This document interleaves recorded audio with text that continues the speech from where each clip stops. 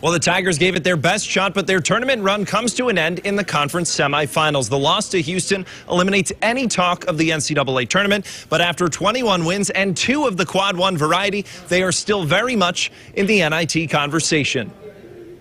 We definitely want one. We feel like we deserve one. We played a tough schedule and really didn't fare well against the bigger teams, but we, we play, we're playing the best basketball uh, that we can play. One of the you know teams that are playing the best basketball in our conference. So with beating um, UCF a couple times, beating Temple, teams that are going to be in the NCAA, um, you know, I think that we deserve it.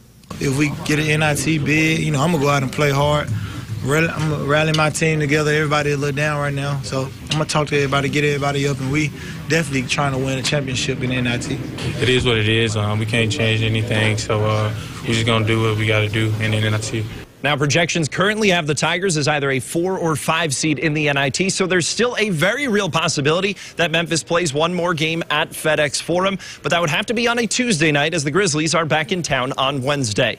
At FedEx Forum, Clayton Collier, Local 24 Sports.